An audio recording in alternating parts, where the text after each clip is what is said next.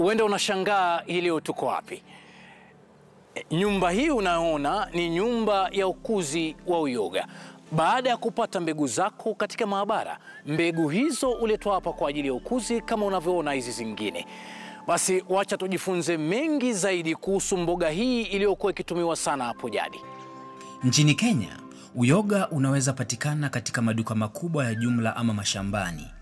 Kilimo cha uyoga ni chenye faida sana, kwani unaweza uza hata mbolea ukimaliza kuvuna.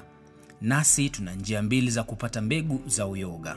tunaweza pata na njia mbili. Tunaweza import mbegu ile ambayo imetengenezwa kutoka nchi zingine. Pia sisi wenyewe tunaweza develop mbegu kutoka kwa mushroom zenyewe, sababu tuko na hu- hu- huo uwezo wa kutengeneza mbegu kutoka kwa mushroom spores ama tissue mpaka tukaiweka kwa grain na ikakuwa mbegu ya hali ya juu.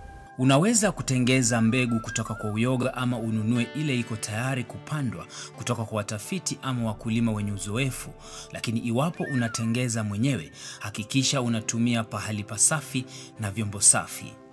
Tukitaka kutengeneza mbegu, tunatoa spores kwa mushroom zenyewe ama tishu, tunaweka hiyo tishu kwa ega ambayo imekuwa ya kipekee ya kufanya hiyo kazi. Baada ya mwezi moja tuna transfer inaenda kwa grains. Sasa ikiwa kwa grains inakaa mwezi moja, ndio sasa iko tayari kuuziwa wakulima ama kutumika.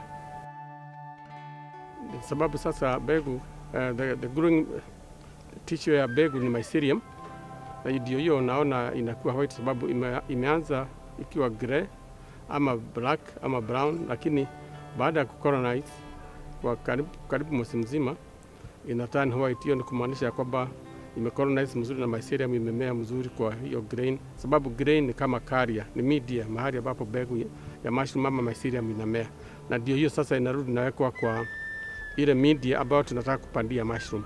Upanzi wa uyoga baada ya kupata mbegu, yani spawns kimombo, unatumia masalio ya ngano, mahindi ama mchele baada ya nafaka kuvunwa. Kwanza, kitu ya kwanza ni kuangalia quality yake isikuwe na maji, ikuwe imekauka kabisa. Alafu tuna reduce size, tunakatakata kwa vipande vidogo, namna ya vile tunaweza manage. Tunarudi tunaweka supplements. Supplements ni kuongeza nutrients zile ambao tunataka nitrogen. Tunatumia cotton seed, tunatumia sunflower cake ama bran. Alafu hiyo material tunaishemsha kuua viini ile baya ambayo inaweza um, affect process yetu.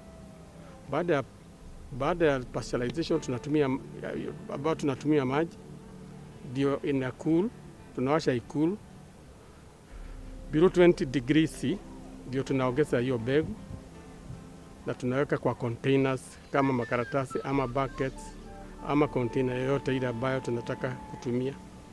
Tunaiweka kwa mwezi mzima, ndio sasa mushroom inaanza kumea. Baada ya kutia yale masalio ya shambani yenye mbegu kwenye mfuko wa nailoni ama mtungi ama ndoo iliyo na mashimo, ziweke kwenye chumba ama nyumba chenye giza. Kwa hiyo nyumba ambayo imefungwa, stage ya kwanza inaitwa incubation, na hii haitaki hewa mingi kutoka nje. Tunataka carbon dioxide ikuwe mingi, na hasa tunataka ikuwe dark kwa mushroom mingi, ndio sababu ndio hiyo colonization ama mbegu iweze kumea kwa hiyo media kwa njia mzuri.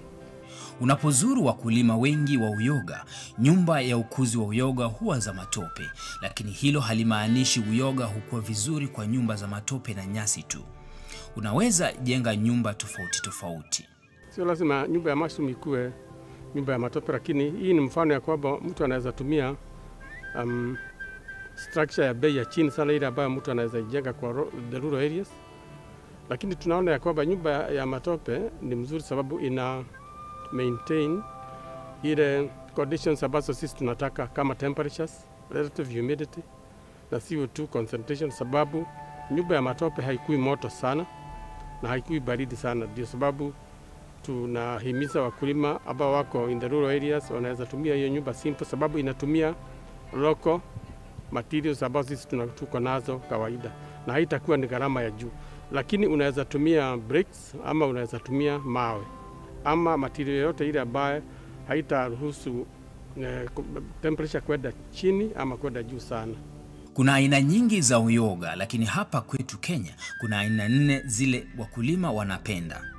Aina ya uyoga ni mingi sana, ni aina mingi, lakini hapa kwetu tuko na aina nne ile ambayo watu wa Kenya wanapanda ambayo watu wengi wanajua. Ya kwanza ni buttons, na ya pili ni oyster, na ya tatu ni shitaki, na ya nne ni ganodama Na nitaweza rudia niseme ya kwamba hiyo ya buttons kwa mwezi mzima wakulima wa Kenya wanapanda kama tani 40. Kwa hiyo ya pili ambayo inaitwa oyster wanapanda kama tani tano. Hiyo ya, ya tatu inaitwa shitaki wanapanda kama tani kama kilo hamsini, na hiyo ya mwisho ambayo inaitwa ganodama kama kilo hamsini. Na hizo bidi za mwisho inatumika pia kwa hali ya matibabu kwa mili zetu, shitaki na ganodama. Kwa hiyo ya kwanza ambayo tumeona inaitwa buttons, market yake ni kubwa na pia tunatoa nje kama tani ishirini kila mwezi, kumaanisha ya kwamba ile ambayo wakulima wanapanda hapa kwetu haijatosheleza soko. Oyster na shitaki ni nzuri sana kupanda iwapo ni mara yako ya kwanza ama iwapo unataka kupanda uyoga na kuzingatia kazi zingine. Haichukui muda wako mwingi, mazao mengi na inapendwa sana na watu. Ile kitu nitazaambia wakulima ama wale watu ambao wagenuia kuingia kwa hii biashara ni kwamba kwanza, jambo la kwanza kwa kwamba upate uzoefu ama skills. Usianze hii biashara kama hujapata skills, sababu tumeona watu ama wakulima wengi ama wameanza na wamefika mahali ambapo wameanguka ama wamefeel sababu ya kukosa kukua na skills. Kwa hivyo nige ningehimiza wakulima ama watu wa Kenya wenzangu ya kwamba kitu ya kwanza ni tupate skills kabla hatujaingia hii biashara, na skills hizo unaweza pata hapa kwetu JKUAT sababu tunafunza, tuko na hiyo mafunzo ya ukulima wa uyoga ambao tunaandaa kila wiki kutoka Jumanne mpaka Alhamisi.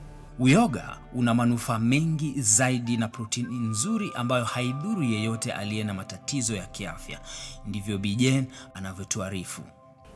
Uh, ziko na advantages mingi na pia kulingana na vile uh, uh, the health wise venye kumekuwa watu wamekuwa used to nyama sana na imekuwa inadhuru watu wengi sana.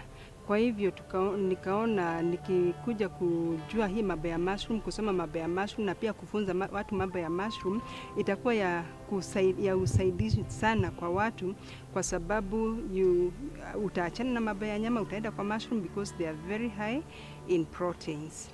Yes. Unapovuna uyoga, hakikisha umezitumia kabla ya siku tano kwisha na uziweke kwa jokovu ama kuzipeleka sokoni mara moja. Unapo mushroom huanga zinavunwa na ukizifuna you uh, unafaa kuziweka kwa refrigerator. Immediately umezifuna uziuze. Kama huuzi wakati huo, uziweke kwa refrigerator na ita, at 4 degrees na itakaa kwa muda wa siku tano.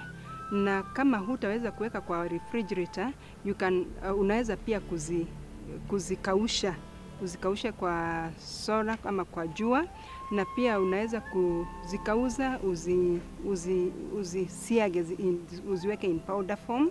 Uh, kwa hivyo unaweza tu kuzitumia namna hiyo. Kazi yoyote ile lazima iwe na changamoto, ndivyo na ukuzi wa uyoga na utengenezaji mbegu zake. Wakati mwingine unaweza kupata umezipanda hizo mushroom na out of sana sana ikuwe careless kidogo tu, upate mushroom zako ama substrate zako zimecontaminate. Kwa hivyo uki, ukifikiria una, una, unatarajia kukuwa una harvest ukute zote zime, zime, zimeweza ku, ku, kumea mold. Maybe kuna kitu kidogo tu mtu hakufanya na ikakuwa sasa ikaleta ika, hiyo, hiyo, hiyo sasa kuharibika kwake Zamani watu wengi walikuwa wanajua ukitaka uyoga ni utembee mwituni, lakini kwa sasa watu ujuzi wa uyoga umeenea sana. Tumekuwa tukipata watu wamekuja wakikuja wamekuwa wakikuja kusoma na pia unaona watu pia wanakuja kuziulizia. Kwa hivyo watu wame, wamejua mambo ya mushroom, umuhimu wa mushroom, kwa sababu pia ma- maugonjwa zime, zime, zimefanya watu pia kujua mambo ya mushroom. Kwa hivyo unapata watu wanazikujia sana, wana, wanazinunua na pia wanakuja kusoma kuzihusu. Kupika uyoga haichukui muda mrefu na si kazi nyingi. Chukua uyoga wako kisha zioshe vizuri kwa maji safi, na unaweza zikata kwa mkono ama kisu, kwani ni nyepesi. Ukitaka kutengeneza mushroom haikuangi jia ngumu. In fact inakuanga kazi rahisi sana, kwa sababu ukimaliza kuziharvest ama ukizinunua kwa supermarket ama kwa any farmer that umenunua kwake, unakuja tu unazipasua, huhitaji kutumia kisu, unazipasua tu kwa na mkono, alafu sasa unatumia unakuwa na ingredient kama kitunguu, hoho um, uh, ginger, garlic, hizo vitu. Unakaanga tu kitunguu, unaweka hizo nyanya, hoho. Zikimaliza kuisha maji hizo nyanya, ndio unakuja ku, uh, uh, uh, ndio unakuja kuweka kuweka kuweka hizo mushroom, alafu unazipatia kama dakika kumi na tano zinaisha zinaisha hiyo maji, unazipakua. Bei yake nayo ni tofauti, ikitegemea ni aina ipi ya uyoga na kama imekaushwa ama bado ni fresh.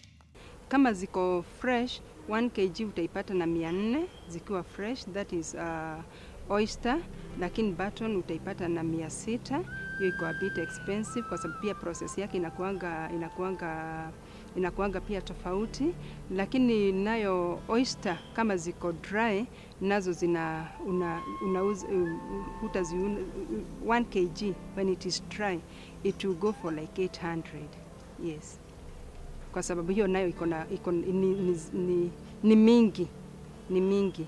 Pia nayo ya Ganoderma that one it's medicinal, hiyo inakuanga medicinal. Kwa hivyo hiyo venye inakuanga medicinal haipikangwi hiyo kazi yake tu ni unaisiaga, inauzwa ikiwa in powder form. 1 kg kilo moja ya Ganoderma ina, ina, inatokanga 3000 per kg. Ganodama ni aina ya uyoga ambayo ina rangi ya hudhurungi, si nyeupe kama zile uyoga zingine, nayo na haipikwi lakini husagwa kabla ya kutumia. Ganodama Ganoderma ina, ina mambo mengi ina, ina, inasaidia ama inatibu kama cholesterol, inarua the cholesterol, inasaidia even the, it is anti-aging. Pia inasaidia wale watu wako na ugonjwa kama high, high blood pressure, inasaidia kuileta chini ama kuiregulate, pamoja na diabetics pia inasaidia pia ina, inasaidia kuregulate na pia uwaga inasaidia kama mtu anataka kupoteza ama ku lose weight pia watu wanazitumia mushrooms, zinasaidia mtu ukizitumia unatupa hiyo uzito. Magonjwa na wadudu pia hutatiza ukuzi wa uyoga. Kwa ukulima wote, aidha mkulima mkubwa ama mkulima mdogo, wote hakuna mwenye hanaga hiyo changamoto ya ya wadudu pest and diseases. Kwa hivyo kama vile tu wakulima wengine wanakuanga na hiyo challenges, pia kama unakuza mushroom pia unapatanga kuna kuanga na hizo challenges za hao hao the, the pest and diseases na zile sana sana uwaga zina, zina, zina, zina affect mushroom ni kama uh, uh, uh, slugs eh? Slugs zina zinapendanga sana nini, zinapendanga uh, mushroom. Kwa hivyo uh, hiyo hiyo hizo ni moja. Zingine uwaga zina zinakujanga sana ni panya na panya sana sana uwaga zinakuja ila wakati wa incubation, kwa sababu zinakujanga uh, wakati wa incubation waga tunaweka begu na hizo begu zinakuaga na grains eh? na hizo grains zinapendwa sana na panya. Kwa hivyo utapata nini? Utapata panya watakuja kufanya nini? Kuingilia huko na kuanza kukula, kukula hao ile kitu unaweza kufanya, lazima uweke usafi sana. Kama kwa surrounding ya nyumba yako, mahali unakuzia, umake sure umeweka hiyo mahali pakiwa pasafi, hakuna any vegetation ama bushe, hakukui bushe, una, una clear the vegetation. Ukiclear uh, with that, na hiyo unaweza ku, ku, kuondoa ama kueradicate hizo, hizo, hizo mambo ya panya. Pia kuna kuanga na fries na hizo pia fries zinakujanga sana sana wakati ziko kwa hiyo stage nyingine, kama vile mliambiwa mushroom zinaendaga na stages. Kuna kuanga na hiyo stage ya incubation na pia kuna kuanga na hiyo stage nyingine ya initiation. Initiation fries zinakujanga kwa sababu kuna kuanga na hiyo mycelium smell hizo sasa iki, the flies zikisikia hiyo smell ya mycelium zinakuwa very uh, zinakuwa attracted sana, kwa hivyo unazipata zinafanya zinakuja sana, na jinsi ya hiyo unafu, kuzi, kuzitoa unatumia uh, fly traps. Ukizitumia hiyo sasa zinakuja tu zinatrapiwa, na pia njia ingine ni, kufumi, ni ku, ku, kuhakikisha milango yako na madirisha yako umeweka net ili ukiweka hizo hizo insect net hazitaweza kufanya nini, hazitaweza kuingia. Najua kwamba hapo awali huko unajua kwamba kuna aina nyingi sana hivyo za uyoga, na iwapo ulikuwa unakwenda kule mwituni kutafuta mbegu ya uyoga, leo hii umeng'amua kwamba jinsi na wapi pa kupata mbegu hii.